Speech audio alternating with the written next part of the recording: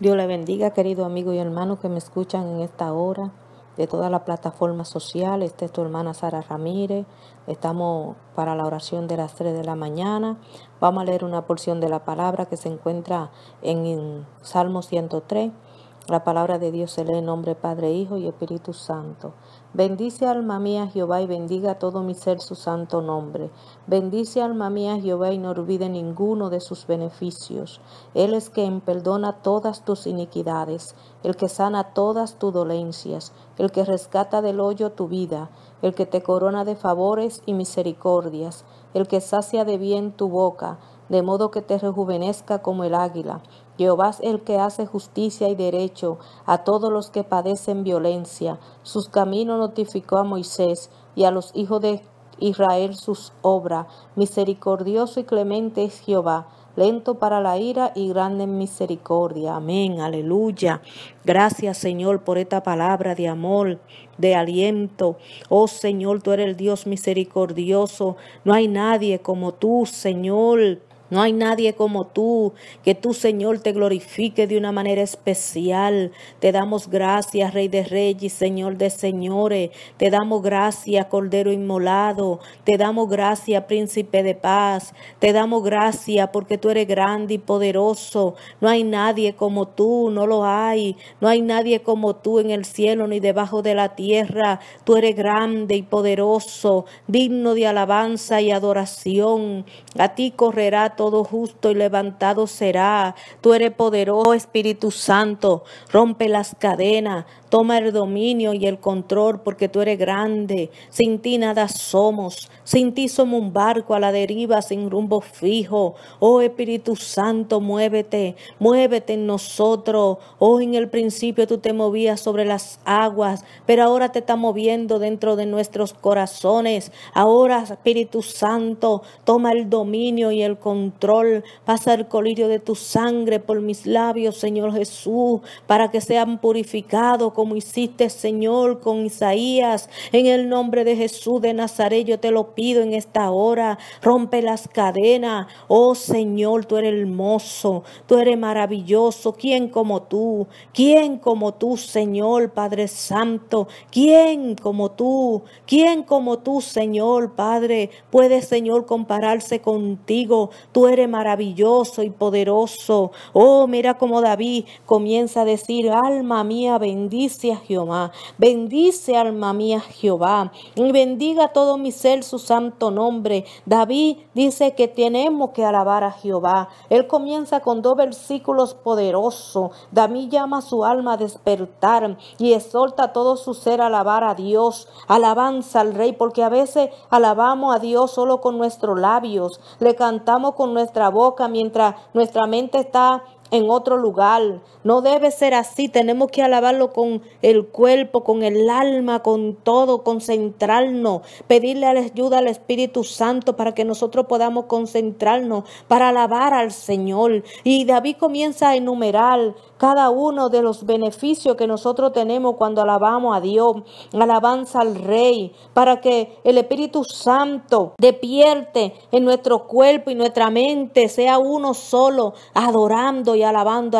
a, Dios, porque el enemigo pone mucho, mucha trampa, mucha trampa para que nosotros no adoremos a Dios, no pone eh, eh, que tengo que hacer esto, que tengo que hacer lo otro, pero concéntrate, comienza a alabar a Dios. David comienza a decir, Él es que perdona todas tus iniquidades, ¿verdad? Porque dice que iniquidad fuimos concebidos, ¿verdad? Bendito sea el nombre del Señor. David dice, perdona, Él es que perdona todas tus iniquidades, el que sana todas tu dolencia. Dice en Isaías que por su sangre nosotros fuimos sanados, que Él llevó toda, iniquidad, toda nuestra iniquidad, Él la cargó con nosotros, le dieron 39 latigazos. Eso quiere dejar dicho que Él pagó por todas las maldiciones, de enfermedades que podían venir a nuestro cuerpo, ¿verdad? Él la pagó toda, Él pagó por todo nuestro pecado, por toda nuestra maldición. Oh, alabanza al Rey. David siempre dice aquí, el que rescata del hoyo tu vida, ¿de dónde nos rescató nosotros? Del hoyo de la desesperación, de la perdición. Estábamos perdidos en nuestro delito y en nuestro pecado, pero el Señor vino y nos rescató y nos dio una oportunidad, una vida nueva, nos dio un nombre nuevo, nos limpió, nos puso ropas limpias. ¿Para qué? Para que nosotros adoremos a Dios, para que alabemos a Dios, para que saltemos a Dios por todos los beneficios que Él nos ha dado a nosotros, ¿verdad? Él dice, David dice, y no te olvides ninguno de sus beneficios, ¿verdad? El versículo 2 lo dice, bendito sea el nombre del Señor. David sabe qué es lo importante o qué sabía lo importante que es alabar a Dios, lo importante que es adorar a Dios, lo importante que es glorificar el nombre del Señor, porque el Señor dice que desciende, que desciende y viene, alabanza al Rey. Gloria a Dios. Sí, él dice que es David Sigue enumerando cada una de las bendiciones que tenemos cuando alabamos a Dios, porque la alabanza nos lleva a reconocer la santidad en nuestro Dios y anhelar ser más como Él. Él es santo y nos llama a ser santos, como dice Primera de Pedro 1.14 hasta el 16. ¿Verdad? ¿Cómo lo logramos? Buscando de Dios, olvidándonos de todo, de todo. Como dice el corito, si tú quieres sentir el Espíritu manifestado, olvida de los problemas y del que está a tu lado. Alábale con las manos, con los pies y con la boca, ¿verdad? Como dice el Salmo 150, Santo eres Jesús. Él dice, el que, el que nos rescató de donde nosotros estábamos, ¿verdad? De la cárcel, de nuestro pecado, de nuestro delito, donde no había paz, donde no había sosiego, donde la amargura estaba llenando nuestros corazones porque no podíamos perdonar. Pero ahora el Señor nos, nos da una oportunidad oportunidad nueva de comenzar de nuevo y dejar todo atrás, todo el pasado atrás y vivir el presente y el futuro. Dice el que te corona de favores y misericordia, dice el versículo 4. Bendito sea el nombre del Señor, el que sacia de bien tu boca, de modo que te rejuvenezca como el águila. Bendito Dios, ¿verdad? Él dice que de modo que te rejuvenezca como el águila. Dice en Isaías 40,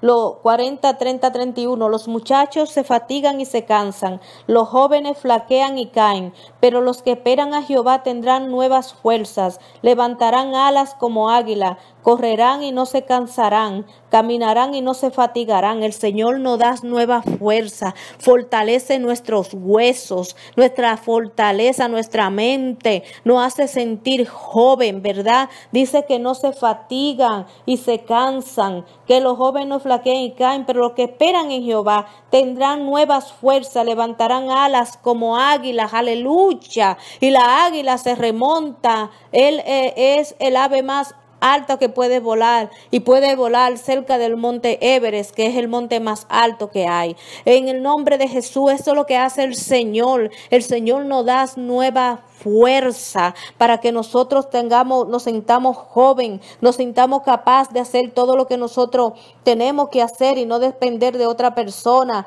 ¿verdad? Que dependamos de Cristo. Cuando nosotros alabamos al Señor tenemos tanto beneficio, son los beneficios son innumerables porque son tanto los beneficios que nosotros tenemos. Cuando nosotros alabamos a Dios, ¿verdad? Bendito sea el nombre del Señor, que David entendió eso. David entendió eh, eh, todos los beneficios que Él tiene cuando nosotros alabamos a Dios. Jehová es el que hace justicia y derecho a todos los que padecen violencia. Eres que nos defiende. Dice el Salmo eh, 91.1 que el que habita al abrigo del Altísimo morarás bajo la sombra del Omnipotente. Mira que está en presente continuo. Morarás bajo la sombra de siempre él está cubriéndome, siempre está, estamos bajo sus alas, estamos bajo su protección, estamos bajo su cobertura. No importa que el diablo venga, vestido de, de, de, de quien sea, no importa quién diablo, el Señor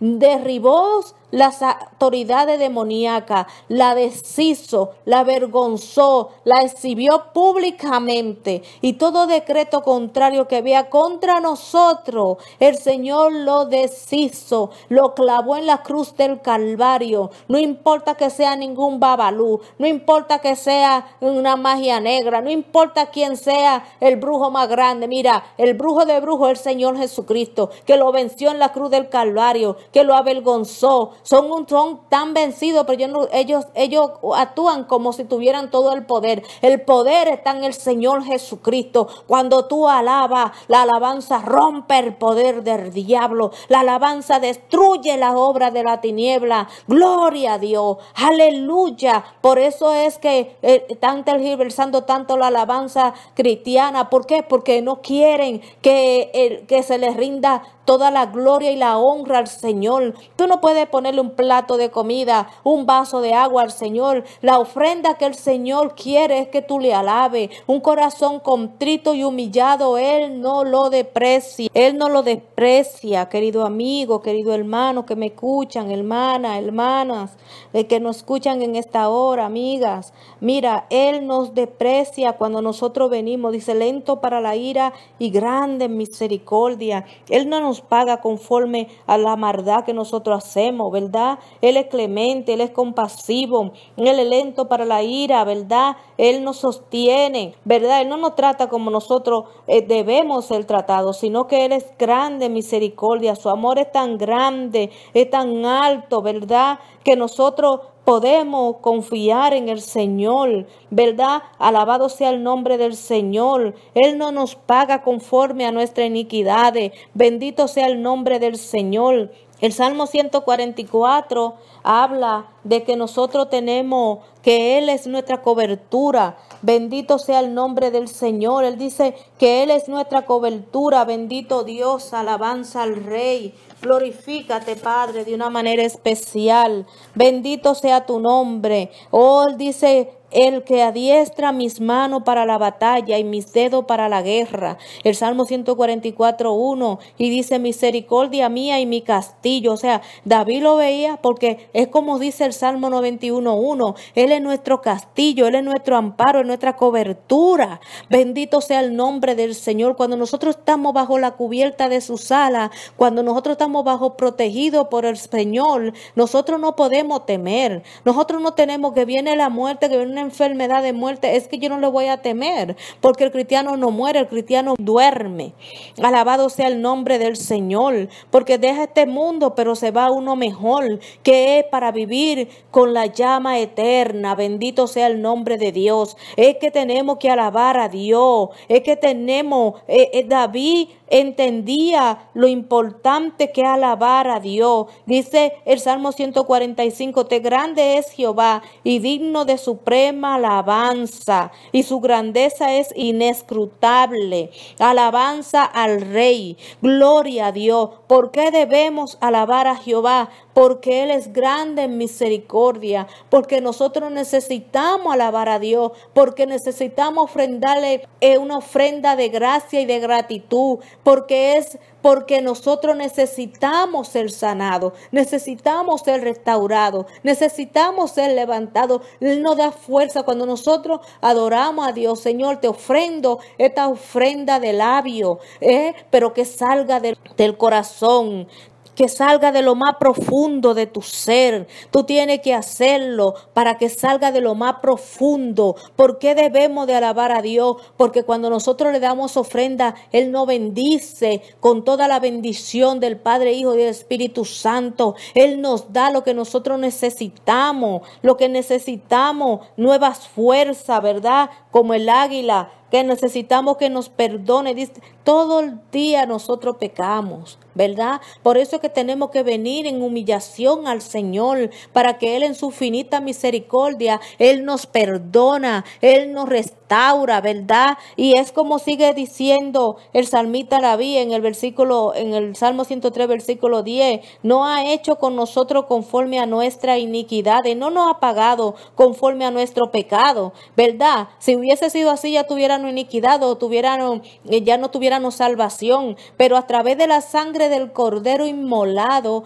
nosotros pecamos y venimos, venimos delante del Señor y decimos, Señor, perdóname porque he pecado contra el cielo y contra ti. No borre mi nombre del libro de la vida. Oh Señor, y el Señor, límpiame con tu sangre preciosa, Señor Jesús. Y el Señor Jesús no perdona porque le dice, Padre, fui yo que morí por él. Padre, mira mis heridas, alabanza al Rey. Dice que esa sangre siempre está ahí de continuo delante del Padre. Esa sangre, ese cordero que fue el único que el Señor aceptó de una vez y para siempre. ¿Verdad? Hace más de dos mil años que el Señor vino aquí y vivió con nosotros. Ahora nosotros tenemos la autoridad y Él nos delegó esa autoridad, como dice Lucas 10, 19. Os doy potestad de hollar serpiente y escorpión y sobre toda obra del mar y nada os dañarás. Cuando nosotros estamos bajo la cubierta de su sala, cuando nosotros damos bajo el Señor, ¿cómo yo tengo ese permiso para estar cubierta 24 horas, 7 días a la semana? Cuando yo acepto al Señor Jesucristo con mi boca, abro mi boca, lo acepto, le digo yo te acepto como mi autor y salvador personal, ¿verdad? Escribe mi nombre en el libro de la vida. Cuando yo comienzo a vivir una vida para Él, comienzo a andar en los caminos del Señor, a leer la Santa Escritura, a oír la palabra, a, oír mensaje, a, oír, a, ir a su iglesia, a congregarme. Entonces yo tengo esa cobertura del Señor que me da y cuando yo comienzo a ofrendarle ofrenda de labio, óyeme bien, yo te estoy diciendo ofrenda de labio, alabanza no te estoy diciendo que le vaya a poner un plato de comida, ni de fruta, ni de eso, porque el Señor no acepta eso. El Señor no es una madera. El Señor es el Rey de Reyes y Señor de Señores. El gran yo soy. El que creó este mundo. Aleluya. Y nos creó a nosotros. A nosotros, a cada uno de nosotros. Bendito sea el nombre del Señor. Y David sigue enumerando todos los beneficios que Él obtiene. Y por eso tiene que alabar a Dios. Tiene que darle gracia por todo lo que Él te ha dado, porque te da un día más para pelear tu salvación. Te ha dado una familia hermosa, te ha dado una madre, ¿verdad? Padre. No tiene. Él es padre y madre, Él es hijo, Él es hija, Él es tío, es sobrino, Él es amigo. Él es todo para ti, ¿verdad? Pero Él no es egoísta. Él quiere, Él quiere vernos reunidos, Él quiere vernos a nosotros en paz. Y por eso es que nosotros tenemos que adorar al Señor. Por eso es que tenemos que alabarlo. Por eso es que tenemos que glorificar su nombre. Dice, bendice alma mía Jehová y bendiga todo mi ser su santo nombre. Dice el salmita David, bendícelo. Eh, obliga esa alma que es bien cruel, bien terca. Obliga tu carne a alabar a Jehová. Tú dices, tú vas a alabar a Dios hoy. Tú vas a adorar a Dios. Ofréndale ofrenda de labios. Ofrenda de labios que es lo que el Señor acepta. Bendito sea el nombre del Señor. Bendito sea su nombre, ¿verdad? Dice, mala misericordia de Jehová es desde la eternidad y hasta la eternidad sobre los que le temen. Cuando nosotros la alabamos, ¿verdad? La misericordia de Dios está en nosotros, su cobertura, su amor, su protección. Están millares y millares de ángeles alrededor de nosotros. Tenemos su Santo Espíritu que nos ministra, que nos enseña, que nos da la sabiduría sobre la palabra, ¿verdad? Sabemos que la palabra de, de la Biblia, la palabra de Dios. Alabanza al Rey. Él es magnífico. Él es magnífico. Oh, santo eres Jesús. Te alabamos y te adoramos. Él es todopoderoso. Él es maravilloso. Él es majestuoso. Oh, santo eres, Padre, en el nombre de Jesús de Nazaret. Oh, Él es grande. Él es grande.